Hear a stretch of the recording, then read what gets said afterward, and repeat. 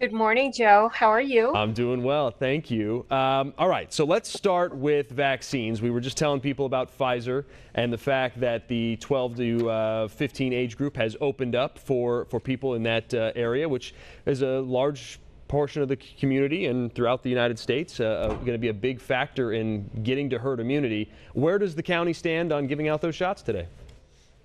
You know, uh, late last night, we heard from our state officials that uh, the federal and state uh, safety review experts are recommending vaccine as a safe and effective at protecting young people 12 and above.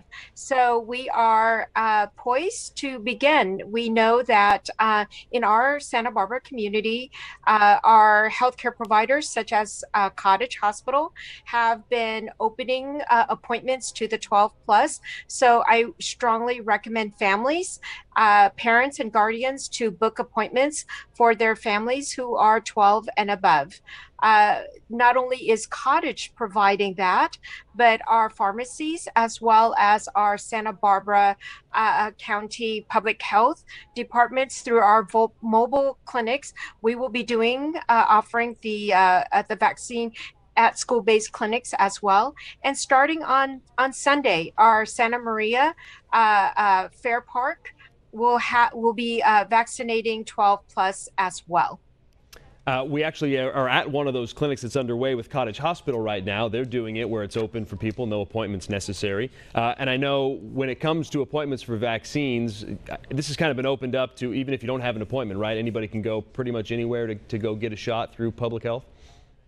That is correct we want to make sure that vaccines are easy and it's it's uh, accessible and convenient for our community members. So uh, please check our website at publichealthsbc.org for all the different uh, vaccination opportunities in our community. And most of them do not require appointments. You can do walk ups.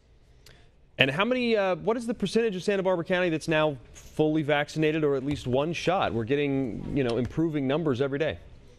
Yes, so we're we're at about the uh, 61 percent of all of our eligible populations are uh, have received at least one shot. So that that's really good news. Um, but we have a little bit more ways to go, and that's why we really need everyone to make that decision uh, to get vaccinated. And now with the expansion to uh, uh, 12 and above. Um, we have that opportunity. Vaccines are plentiful. There's no appointments necessary, and we need everyone to make that decision so that we as a community can reach that 80%. Uh, Van Do-Reynoso, thank you so much for joining us here on Midday.